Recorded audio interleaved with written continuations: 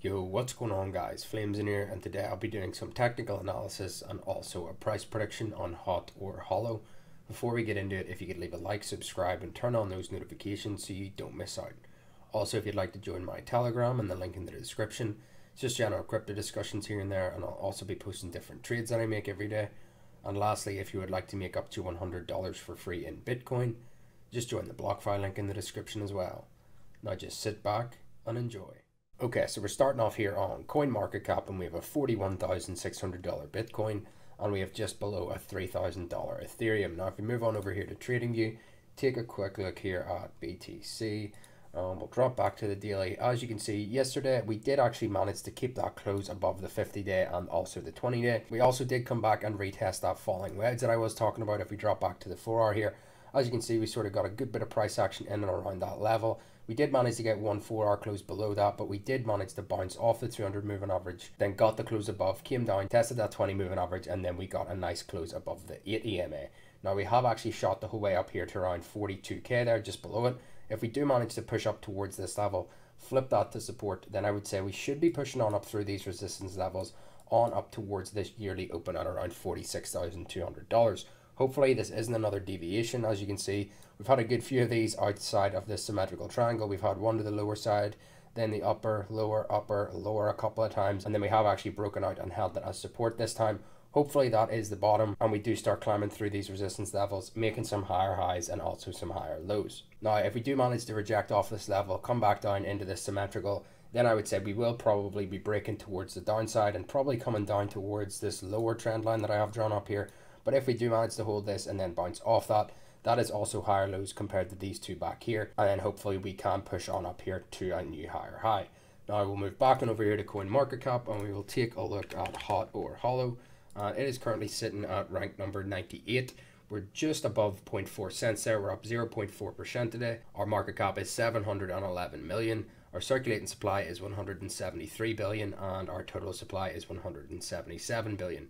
Now, if we move down here, our all time high is sitting in and around 3.1 cents. And that was a year ago on April 5th. And we're currently down 86.98% from then. Now, if you want to do a small read, you can have a read through CoinMarketCap's right up here. Just pause the video. Or if you would like to do a little bit more fundamental research, you can move on up here to their website, which is holochain.org. And over here, this will show you everything that you need to know and help you make your decision on whether you would actually like to invest in this.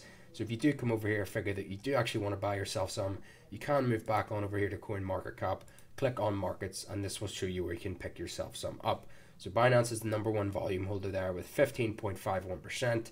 Then you've got a few other pairs here on Binance. Then you've got Bybit, Gate.io, Uniswap, Coin1, loads of different ones there. Just stick to the high confidence ones and you'll be chilling. Now we'll move on over here to TradingView. We'll do some technical analysis on this and then I will also give you a price prediction as well towards the end.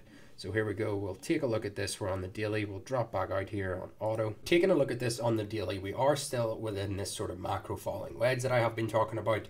If we zoom in, we are currently still rejecting off this 20 moving average Last time we got a proper breakout, we actually did move up towards the 50 moving average, but we did reject off that. And then we got a less significant bounce, and then we did actually manage to break below. Then we were fighting with that 8 EMA, and we are currently doing similar sort of things here. If we do manage to get this daily close above that 20 moving average, then we'll definitely be moving up towards that 50. And if we do manage to flip that to support as well, then our next target would be in and around this horizontal at around that 0.49 cents mark.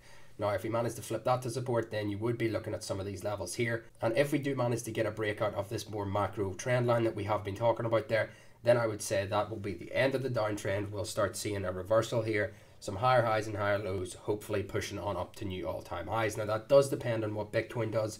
If we take a quick look at this pair here, if we do manage to push up towards the equilibrium of this parallel channel, flip that to support and then continue on up to new highs, then all altcoins will be pushing up to new highs. Well, not all of them, but a majority of any sort of strong fundamental ones, and that does include hot. Now, if we do manage to push up here and reject off that, then I would say that isn't great sort of signs there. But if we do manage to hold a higher low and then sort of push up here, flip that to support again, then obviously that wouldn't be too bad. But this is definitely the level that I would be watching if we do manage to get a break of that yearly open at around 46k that I did previously mention. So hopefully we do manage to push up to this area flip it to support, and then continue on up to new highs.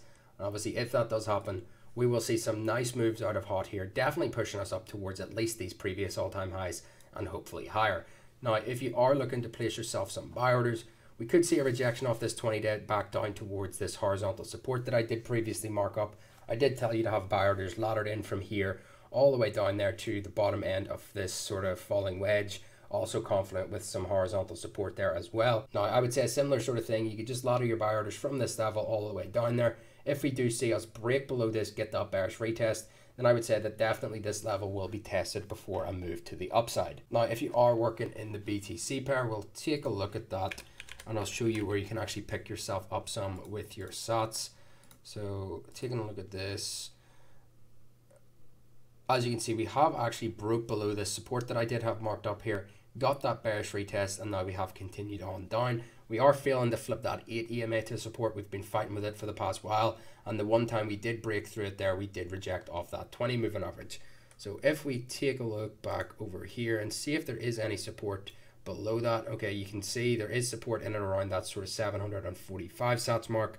There isn't really much in between those two levels. If we take a look even on the daily, no, there's not much there. So it isn't looking great on the BTC pair, but that doesn't mean we're going to see a bleed in the USD one. We could easily just see Bitcoin going on a huge run and sort of leave altcoins behind. And if that does happen, we will see a bleed in the Bitcoin pair. So we could be coming down to around this level. So I'd just be sort of placing some buy orders in and around that 746 sats mark.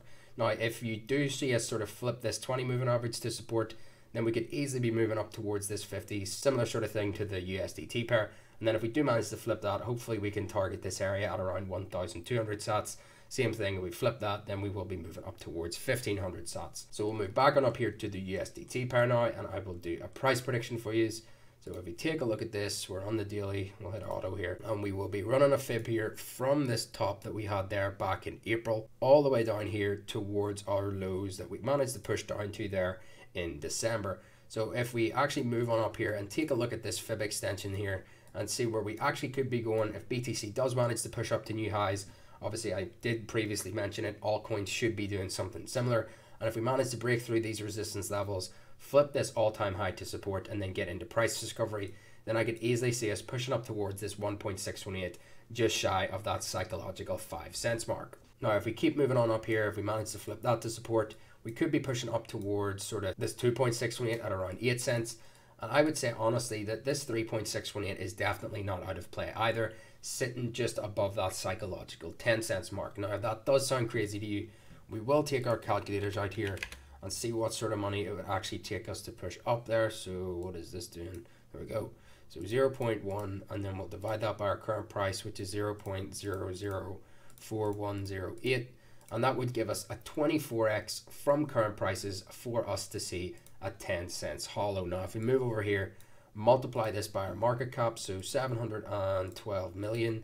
351,424 and that would give us a 17.3 billion dollar market cap for a 10 cents hot. Now if we move over here and see where that would actually put us here on the ranks, 17 point what was it 17.3 would put us here below BUSD moving Doge out of 13th position. And if you've watched my previous videos, as I have mentioned, if Bitcoin does manage to push on up to new highs, there's going to be so much more new money flowing into this market.